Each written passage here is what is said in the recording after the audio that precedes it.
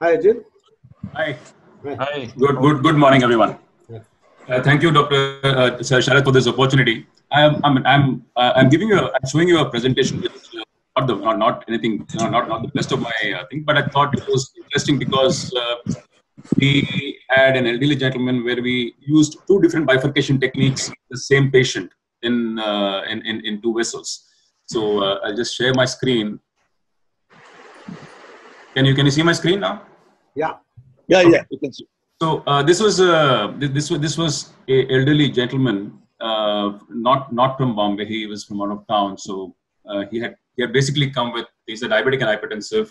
He's about 85 years old, chest pain with uh, of uh, sudden onset, and was admitted in uh, Ranchi, uh, and was diagnosed to have an inferior wall MI. So he was thrombolized uh, with streptokinase over there. Uh, Ajit, in- I, I- Ajit, I can't see your screen. you can't see. Uh, Dr. Sarachandra, I, I can't Can see. everyone see my screen or?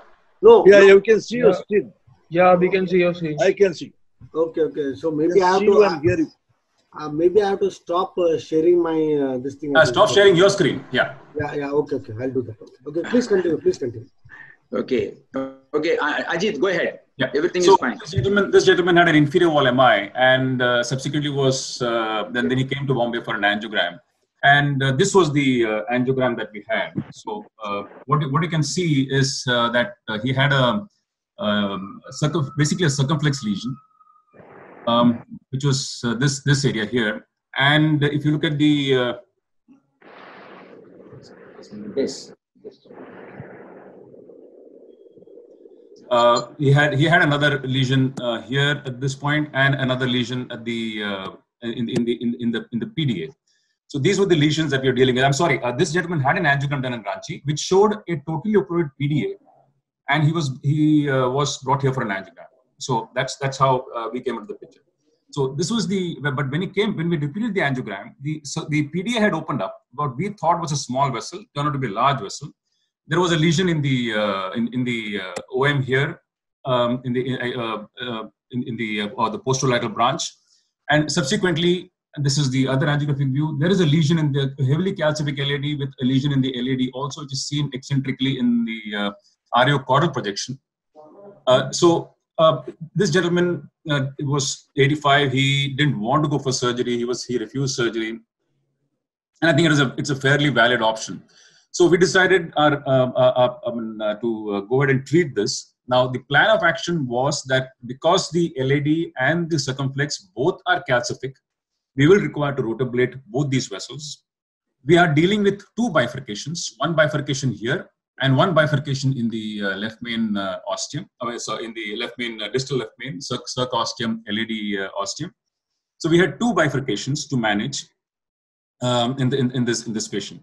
So um, the, we had a stepwise approach. First was debulking of the LAD and the circumflex, then rewiring the uh, circumflex and the PDA. Then you required a bifurcation technique for the circumflex PDA and a bifurcation technique for the left main LAD and circumflex. So what I what we did was we first rotablated the most simple vessel, the LAD, because uh, when we rotablate the circumflex, we'll have to take out the LAD wire.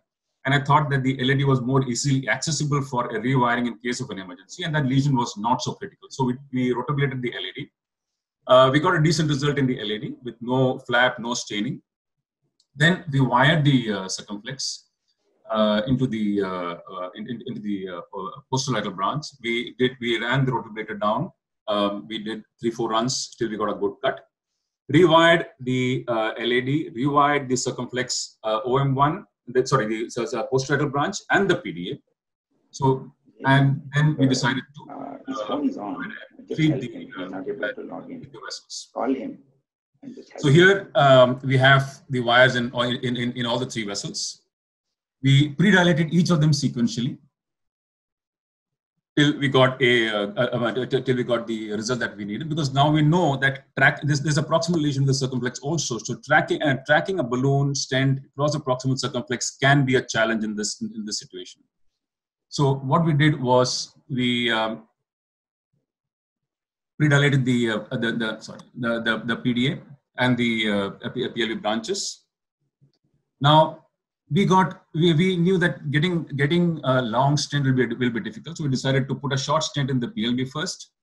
We uh, we, we, we deployed the stent in the uh, in, in the PLB. Now we decided to treat the PDA and the PLB branches as a in in in a, in a Y fashion, so that uh, we can we, we can uh, that and that's because the proximal the circumflex proximal to the bifurcation is a large roomy vessel which will probably accommodate the uh, the stents. We're not going to get into the vessel, but we'll just place it at the ostium of both the vessels.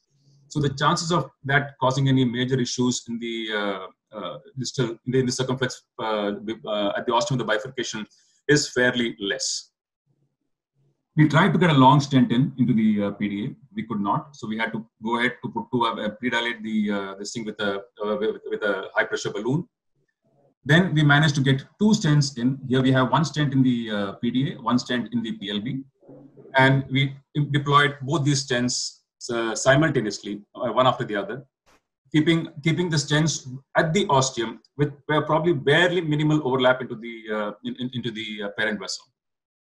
So this was the uh, it, it, it quite a difficult maneuver getting the to getting two stents in, but we did manage eventually and this was the result that we had at the uh, at, at, the bifurcation after doing a kissing balloon technique.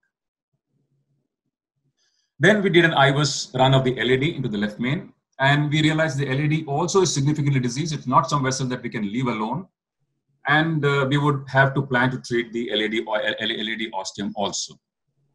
And this is the left main the, the, the left main uh, uh, run of the IVUS. So here what we did was we pre-dilated both the LAD and the uh, uh, and, and the uh, PDA. Then we got one stent from the PDA uh, from, from the sorry and the circumflex. We got one stent from the circumflex into the left main, keeping it at the ostium in the left main. That again here the use of a of a, of a Xience definitely helps because the markers are absolutely on the stent, so we can place it accurately. We deployed the circumflex stent, went ahead, recrossed into the um, in, in, into the LAD uh, uh, using using a using the same wire.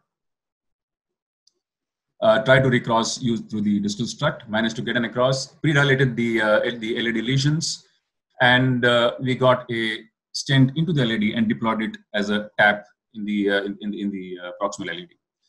Um, again, pre post dilated post stent deployment op optimization. Um, you know, did a uh, did a kissing balloon and a pot.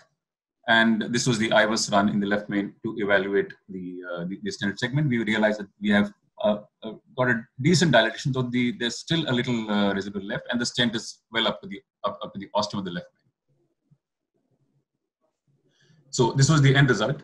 Uh, I mean, it is not, it's not it's not something spectacular, but just a, just a case to demonstrate that uh, we can use two different. Um, uh, we have to be able to sort of uh, guide, guide the treatment depending upon the situation and the fact that we could manage two different uh, bifurcation techniques in a single patient and um, we, we got away with a, with a reasonably, reasonably good result at the, at, the, at the end of it. And the patient is doing well eight months into the uh, procedure. So this was just a summary of the procedure, how we did it. One stent in the PLB, then two stents simultaneously without getting into the, uh, in, in, into the uh, main vessel. Um, and, the, and then treating the uh, left main as a different bifurcation using a, uh, uh, using a tap technique. Thank you very much. Any, any, any, any questions? Uh, no, it's a very good case. Why do you say it's not a spectacular case? It's a good case, no doubt about that. Um, and you finished it quickly in time also. Uh, yeah, Dr. Thank you. Thank you. Two bifurcation, two different techniques.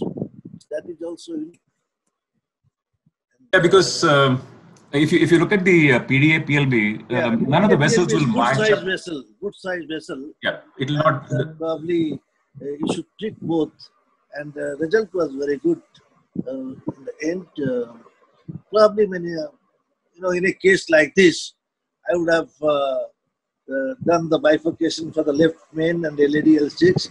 Probably I would have omitted the uh, PDA PLV. I just would have put one stent or something, but then it is worth uh, doing this, take, taking all the trouble and doing all the bifurcation, both the cases.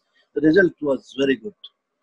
No, we actually we actually went in uh, with an idea of only treating the PLB, uh, not the PDA. We were surprised when we found the PDA open, and it was a, it was a reasonably long, large vessel. Yeah, and uh, we had not done a uh, scan to see whether the area was viable or not. So I could not take a we could not take a chance in leaving that. Yeah, it's very infarct. It's a V-stenting basically. The V-stenting, absolutely. The next presenter is ready, Dr. Rath. Yeah. Dev Datta is ready. I think and then go just. Uh, as, has Dr. Anand Rao finished? His case? Yes, you are the last speaker. Oh, okay, just uh, just uh, just give me uh, two minutes. I'll just try. to Meanwhile, can I ask a question to Dr. Ajit? Yes, sir. Yeah. Ajit, uh, you did uh, the left main, uh, the second bifurcation left main, uh, distal left main, Ah. into a tap technique. You stented the circumflex plus uh, first, and then you did a tap towards. Yes. Would you done uh, it other other way around? That is left main into LAD. Yeah, yeah, because the the tap is uh, always uh, the the stent is tapped into a side branch. The tapping is done to the side branch. Yes. So did you if- did you did you consider uh, LAD as a side branch in your uh, case, uh, or what was it? No, I we considered this LAD as a side branch because the size of the circumflex was quite large as compared to the uh, LAD. Uh, so if we had to get in a uh, get get in a large balloon or had to Hello? post dilate the uh, segment, we thought that dilating into the circumflex would be a better option than I'm the LAD. The LAD was that. not looking just too large. just put the phone down. Okay. Mhm. Otherwise, we would have normally would have taken it from the uh, the thing. And Generally, secondly, that, that's what we do, right? We, Yeah. we generally, do generally that- that's what you do. But second, uh, no, the other thing, other worry that I had was we had post dilated the LAD, the, the circumflex at quite high pressures Mhm. uh, because to get the other stent in, and we had a lot of maneuvering around that area. So now, if you stent from the LAD into the left main, and you find it difficult to cross back into the circumflex because of some dissection flap, you you may you may end up with a with a, with a mess over there because we had used very high pressures to post to dilate the proximal circumflex lesion. Yeah, very good point. Very very good point. Extremely good point. I think this is the this is the message of this case. Uh, when Yeah. uh, when you uh, have put one, the other way around. have one clarification. Excellent Funny.